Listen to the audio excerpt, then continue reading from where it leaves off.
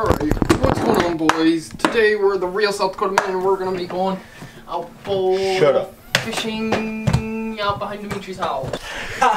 Welcome back everybody to the Real South Dakota Men YouTube channel. We're here in Club's basement, we're getting stuff ready. Today, we're doing a carp catch, clean, cook.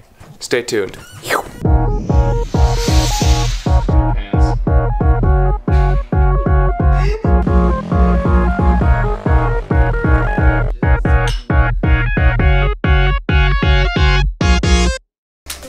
Okay boys, we gotta go get the bows and such, and then we're heading out. My name is Cleveland Joe. Okay, we gotta go to, we're going to Nick's house to get his bow. Nick, we promise your bow will be back in pristine condition. If not, I promise we'll fix it, but it, it'll be, it'll be mint. Wow, we got all the objects inside. Shout out to last video. Kitty, kitty, kitty, kitty, kitty. Come here.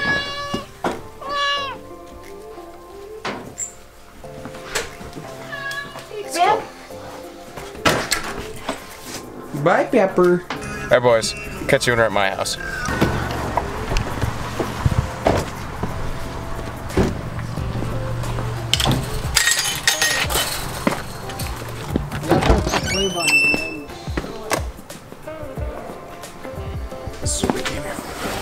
For. Well, this.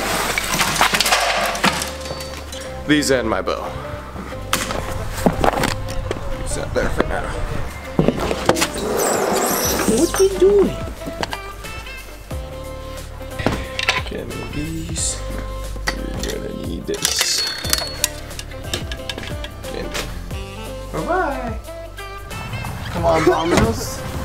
Hey everybody, ah. let's go. We're gonna put Hey some boys, I never coals really in here. explained the concept of what we're doing. We're each gonna get a carp that we think is the most premiumist, and then we're each going to cook it in our own fashion, and we're going to see whose turns out the bestest. So, that's the plan. We'll come back to you guys when we reach Meech's house. All right, boys, we're at Meech's house, and the backyard is looking as full as ever. It's kind of windy. Hopefully, this wind filter will do its job. But so, we're gonna toss on the waders and then head out. All right, boys. We are Mick ready to go. Oh, I see him. Yeah.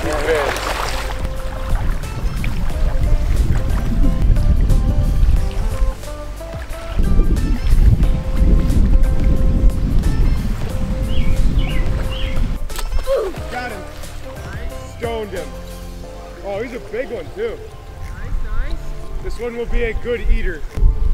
Oh, he's a big old buffler straight through his freaking skull.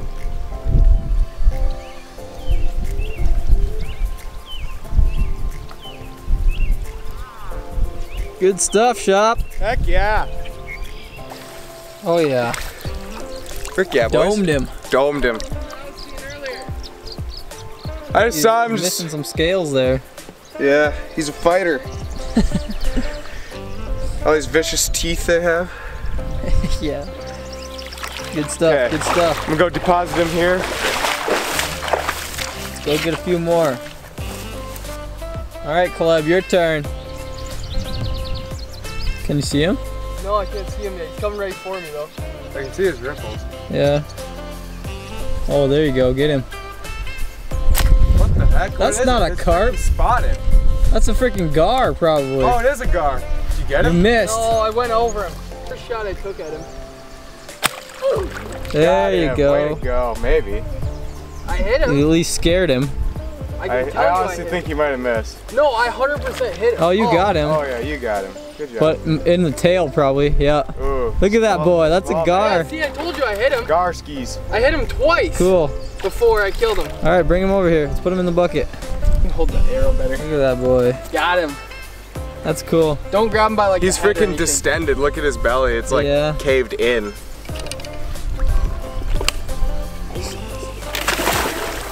Okay, it's very deep on the other side of this. So Sick. just a heads up. Sick natty. Some ripples there. Let's see.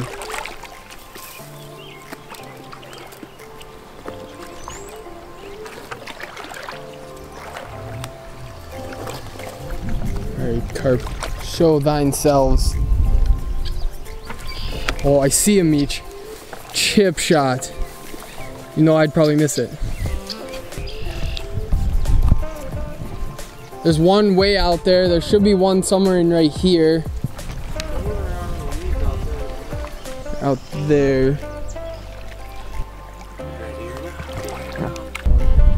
You have the draw.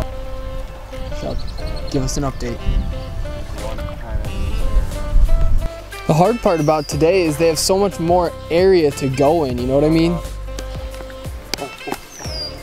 Oh, it's an absolute toad.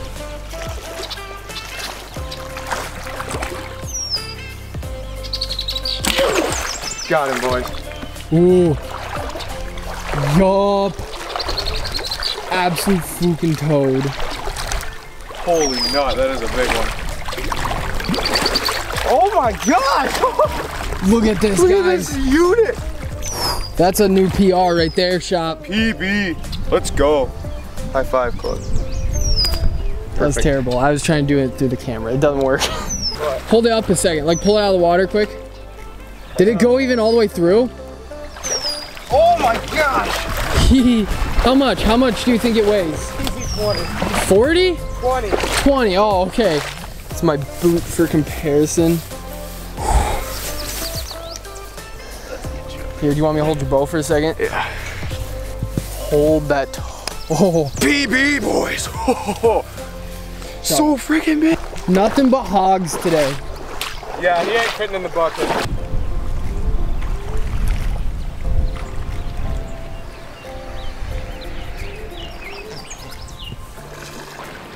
I've got another one. I'll show it to you. Hey guys, we have a little update. We had some nice gentlemen come over and congratulate us on our our Nice. endeavors. nice hits here. This We got two toads. This one's mine, this one's shop. We got three toads ready for the fryer. Oh yeah. Each of us get one toad. It's getting there. Oh Josh. We have the strongest man carrying these. So much freaking weight. Alright guys, we're heading back to Meech's with our catch. We're gonna go cook them up. We're just gonna clean these like we clean every other fish, pretty much. Nothing really special.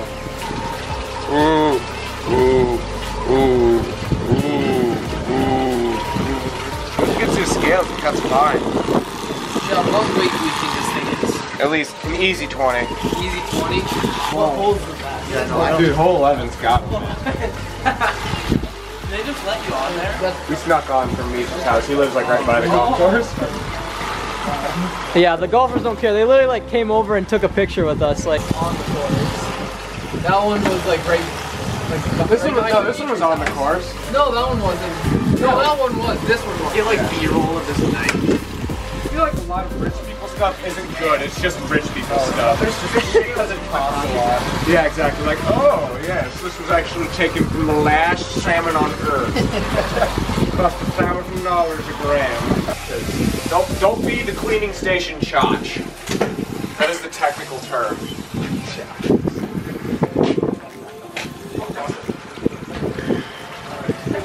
Alright, see you boys.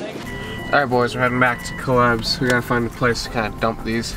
So we have the carp, we've kind of, we've skinned them, we've washed them, trying to get more of that blood out. Skinned more them? like, we're not skinned them, we've filleted them. They're back there. We kind of have, we're gonna try to do these a variety of ways. We're gonna try these, but we're gonna try these about three different ways. See if we can make any of them taste good. This is Papa Shop, rolling in. Here you go, sir. Oh, yeah, they're gone. Okay, Shop, what's going on here? We're scaling them because we kind of forgot to do that. Alright, here we are in the alley scaling the carp. Get it done. I already scaled quite a few. Yep.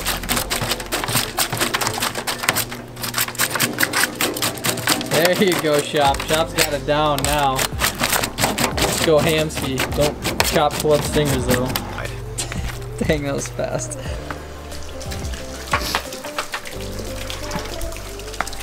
Okay, boys, we're gonna try these a bunch of different ways. So, first, first things first. Got salt, black pepper, butter, and onions.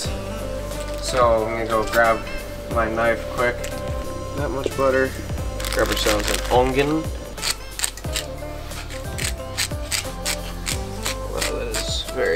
Very. There we go. Okay. Burns your nose. Put some McCormick's. And then dice that goes again son, in smaller cubes and just kind of layer it on there. You want it to be able, as it melts, you want it to spread across the dish. So now we're just gonna layer some butter on this. I might put some more butter. That looks really good. but Yeah. Honestly, We'll see. So that is that is the first fillet, and we we kind of rounded up this tinfoil deal so that it kind of so it contains all the juices. all right.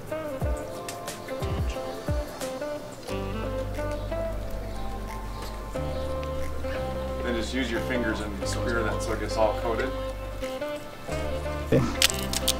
won the last tournament. What was the last tur- chef Burgers. tournament? I put those in the grill now because I think the fire's out finally.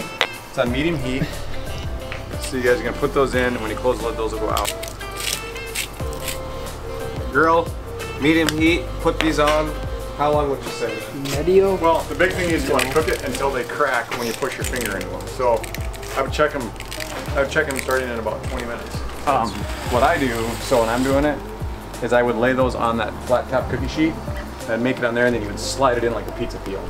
All right, Chef Meech. What should I put on there? What is your what is your strategy What, gonna what be? should we try?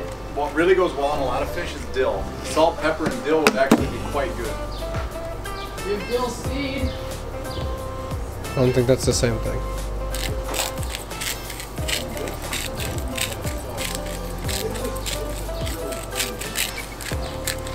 And pepper. All right, guys, we got some dill seed in here. So we got our mortar and pestle. Sure. I need ice cream scoop and a bowl. Yeah. I'm not gonna lie, if you stand over here and you smell that, it smells pretty It dang smells good. Jamie Heisinger has just arrived. Shop. Good seeing you. Welcome to the uh, Carp Fest 2019. This could be an annual event, Jamie. Well, let's not get ahead of this. I think that's pretty good. and close. Popping. You don't want to.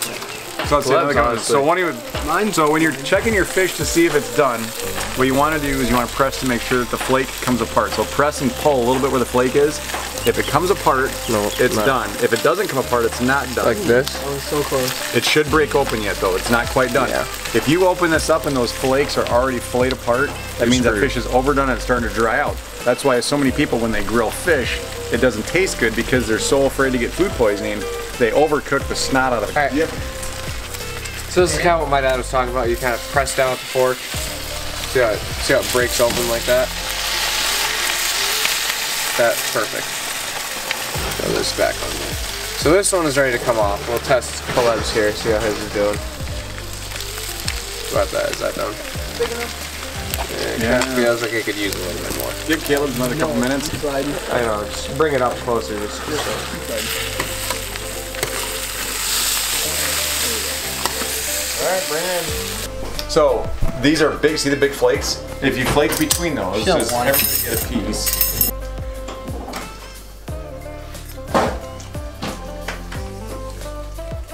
Not bad. Tastes like fish. Tastes like tastes Honestly- like fish and the seasoning that we put on it. Mhm. I did it. Nothing wrong with that at all. I mean, I wouldn't go out of my. I mean, walleye's better, but bad. Biggest skeptic of all, Jamie Heisinger's digging in. Just make sure you don't get a bone to stab you through the roof of the mouth, because The bones are all right in through here. Yeah.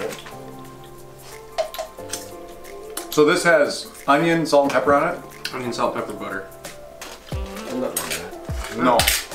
It's not as dense as a walleye, you know. That No, I was kind of hoping for it to be a bit denser. If you were sitting on a dock at a marina uh-huh. and bringing these babies out, That actually looks pretty good, not gonna lie. Going in for it.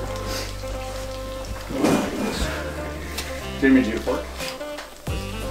Ooh. Fork's still here. Not? Mm -hmm. Not sure. This one smells fishier, not gonna lie. One of the things is I think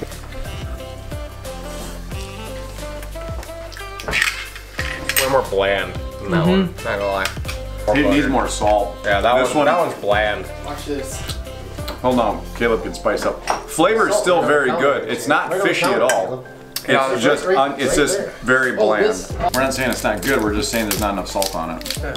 I mean, if it was, That a little bit better. If you were hungry, I guarantee you'd be slurping that right up. Mhm. It's not bad. There's not a thing in the world wrong with that fish. Alright, I gotta try yours now, Caleb. Going to retrieve the last carp fillet. Alright, give us the first bite. This is Misha's fish. Mm-hmm. the one that Meech has prepared.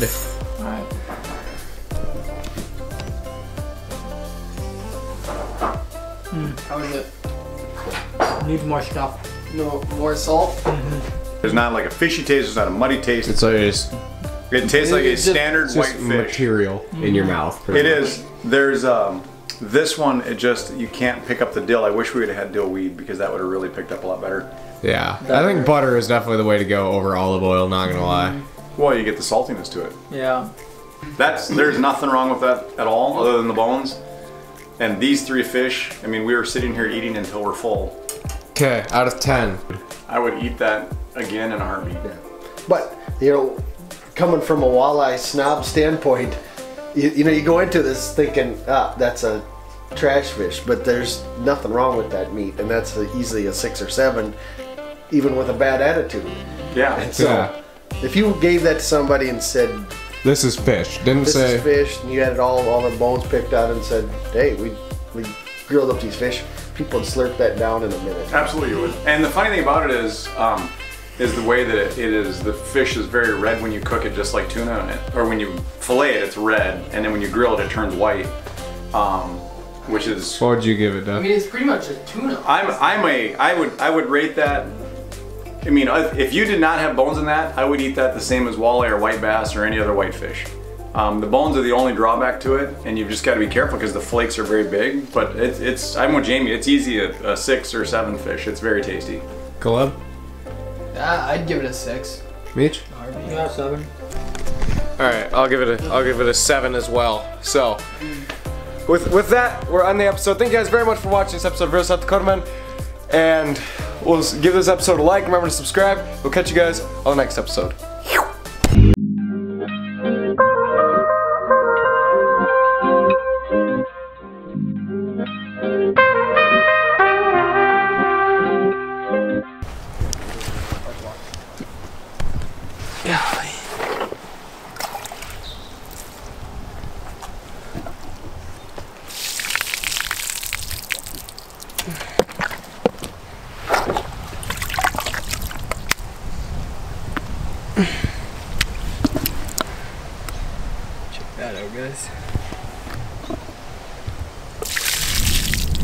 Talking about my insole earlier.